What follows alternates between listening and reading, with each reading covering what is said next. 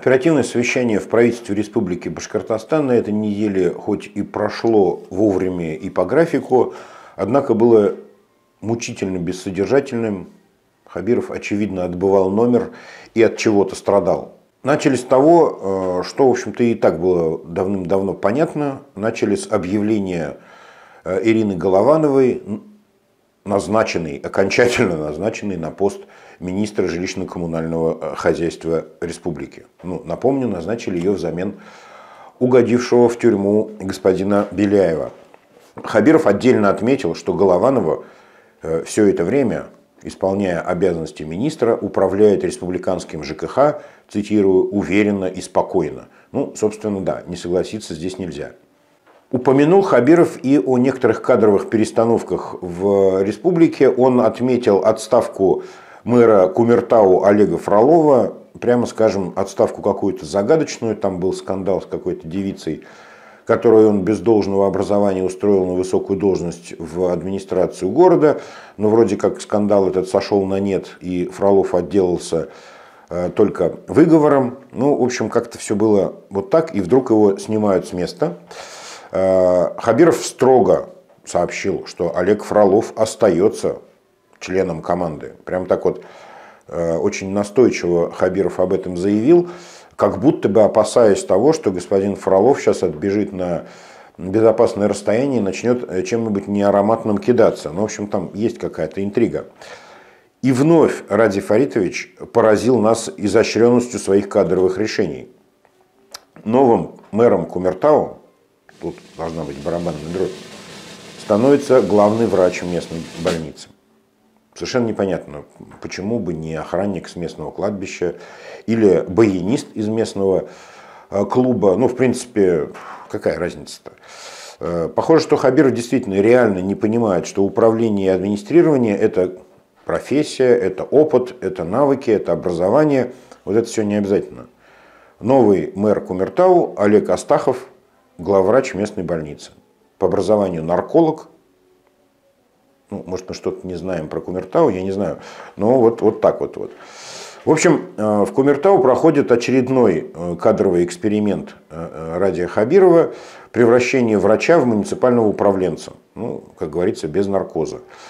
Хотя справедливости ради надо отметить, что господин Астахов уже почти 20 лет, 19 лет точно, состоит в местном горсовете, а сколько-то лет он еще его возглавляет – ну, собственно, вот весь его административный опыт. Напомню, он врач-нарколог, возглавляющий местную больницу. По сообщениям наших э, зрителей и подписчиков из Кумертау, все происходило очень срочно. Одним днем господин Астахов уволился э, со всех своих мест работ. Одним днем был назначен зам главы администрации Кумертау и тем же самым днем стал главой администрации Кумертау. Согласитесь, более чем формальный подход для прохождения э, карьерной лестницы управленца, ну, минимум размера мэра города. Дальше в этом бесконечном вступлении э, к оперативному совещанию, которое, кстати говоря, заняло половину хронометража этого мероприятия, далее Хабиров и Прочаковская долго туманно доказывали друг другу, ну и, собственно, и самим себе в первую очередь, Э, что так называемая прямая линия Хабирова на прошлой неделе прошла успешно, феерично, эффективно, и все были счастливы, и тра-та-та. Ну, в конце этого мучительного сеанса саморазоблачения и самовосхваления ощущалось, что они оба друг другу не поверили и себе тоже не поверили. Ну, видимо, надо было очень так вот самоутвердиться, потому что Прочаковская сыпала там какими-то цифрами о тысячах тысяч каких-то, значит, комментариев в соцсетях, ну, понятное дело, восторженных и благодарственных. В общем, себя не похвалишь, э, весь день ходишь как оплеванный. На самом деле эффективность прямой линии, конечно, вызывает большие сомнения, хотя бы потому, что всего это мероприятие посмотрело 13 тысяч э, жителей республики, что не дотягивает даже до э, трети процента от населения.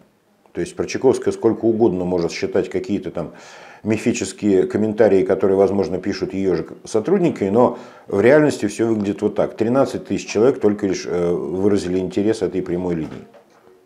Далее, неожиданно для всех, Ради Фаритович сделал программное заявление. Оказывается, давно и в тайне от всех он разрабатывал план реорганизации первичного медицинского звена в городе Уфе. Впрочем, деталей плана он не огласил, сказал только, что ежегодно будет осваивать на этой теме от 500 миллионов рублей до полутора миллиардов рублей. Это, как говорится, как пойдет. Ну и в конечном пункте этого плана, этой программы, реализации этого коварного замысла, в Уфе, по его словам, не должно остаться, цитирую, ни одной ужасной поликлиники. Вот так вот он оценил. Ну, звучало это действительно пугающе, хотя бы потому, что всем известно, что любая реорганизация медицины в России заканчивается тем, что э, ближайший врач почему-то оказывается в соседнем городе, а скорая помощь доезжает до э, своих клиентов существенно медленнее, чем сотрудники ритуальных салонов. Далее перешли к любимому номеру, к любимому жанру под названием «Как я развлекался на прошлой неделе». А, на прошлой неделе э, Хабиров развлекался на мероприятии под названием «16-я неделя бизнеса в Уфе» и на презентации Республики Башкортостан в Москве на Всемирной выставке достижений народного хозяйства. Конечно же, там все было, как мы любим. Плов, шулюм, парад снегурочек в неглиже, чай, концерт, э, игра на продольной флейте и зачем-то еще была башкирская свадьба. Ну, то есть, что, видимо, окончательно поразить э, воображение Э, присыщенных зрелищами москвичей. Из Москвы Хабиров привез одну идею. Он поручил своим подчиненным теперь селить в представительстве в Москве, это такой уютный особнячок в самом центре Москвы, на улице Доброслободской, родственников раненых бойцов СВО, которые лечатся в московских госпиталях. Ну, подчиненные кинулись исполнять э, вот это поручение Ради Фаритовича, но явно без особого счастья на лицах. Э, ну, не любят бояре э, свои палаты, на свои, как говорится, перины пускать всяких простолюдинов и холопов. Действительно, особнячок этот уютный, небольшой, номеров там немного, проживают там в основном высшее чиновничество Башкирии, которое командировано в Москву. И ну, как-то они не рассчитывали там увидеть вот этих вот несчастных с авоськами э, плохо одетых людей, э, которые приехали проведывать своих э, раненых родственников. Ну, какое-то время, видимо, придется. При этом Хабиров поручил там выработать какую-то финансовую схему, кто за что будет платить. Родственники бойцов СВО платить за это проживание не будут. Кто будет платить, непонятно. Кстати говоря, дорогу до Москвы и обратно родственникам оплачивает Министерство обороны. Ну, за всеми этими пустыми разговорами э, минула половина оперативки, и Хабиров решил оперативную обстановку в республике проскочить, как он высказался. Ну, то есть, зачем обсуждать что-то там, связанное с там, коммунальной сферой, там, уборкой снега, там, э, какими-нибудь там чрезвычайными ситуациями, ну, совершенно это не важно, абсолютно, так ведь. В общем, перешли к главному.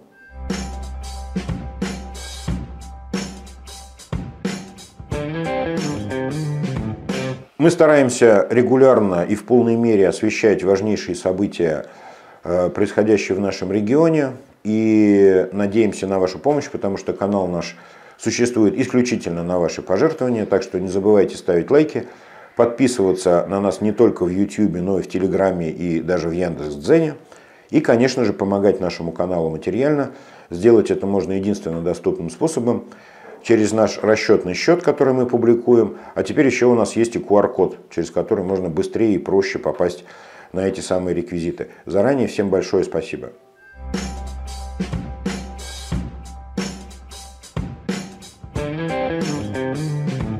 Собственно говоря, стало понятно, что единственным важным вопросом на повестке дня в правительстве Республики Башкортостан является не отток трудовых ресурсов, не гниющая на полях пшеница Э, или, не дай бог, там, чудовищное подорожание продуктов питания или упадок башкирского бюджета, нет. Главная задача правительства на сейчас, магистральная тема и волнующая всех очень-очень, это организация торжеств э, в связи с наступающим новым 2024 годом. Вот это главное. Главное провести праздник. Хабиров как-то мрачно и неоднократно э, упоминал о том, что праздник, дескать, это не для нас. Мы тут, как говорится, кровь из носу все организовываем и администрируем, гирлянды, елки, Дед Мороз. Ну, а праздновать-то будет за нас народ. Вот как-то он так прямо трагично, несколько раз подчеркивал, что вот это не нам.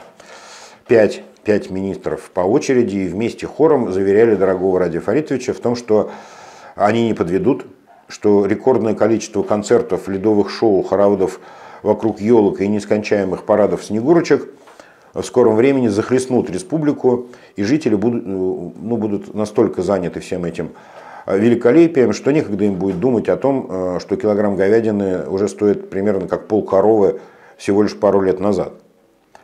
Хабиров слушал э, щебетание своих министров на тему Нового года благосклонно, кивал, подсказывал, чтобы, как говорится, не забыли наколоть дров э, и натаскать воды из колодцев членов семей бойцов СВО, там вот это все красной линии всегда проходило.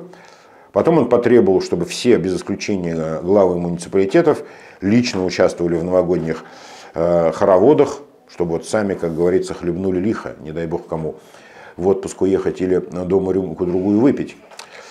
После этого заговорили о, о ледовых городках, ну вот этих вот, с фигурками и э, напиленным льдом.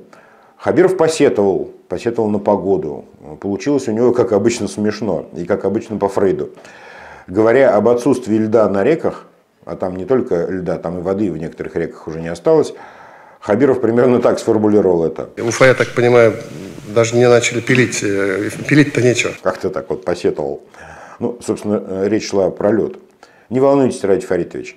В Уфе всегда найдется, что распилить, так что эти ваши опасения абсолютно беспочвенны. Найдется, находится и пилится. Конечном итоге, э, подводя итог вот всех вот этих вот обсуждений Нового года, утвердили стратегический план празднования э, новогодних э, каникул. И выглядит этот план примерно так. 9 декабря включаем иллюминацию и подсветку. 20 декабря ставим 2103 новогодних елки. Из них 283 те самые искусственные, и среди них попадется парочка пиксельных. И 23 декабря открываем 1012 ледовых городков, даже если лед нам придется для этого купить в Канаде. Ну, собственно, вот и все.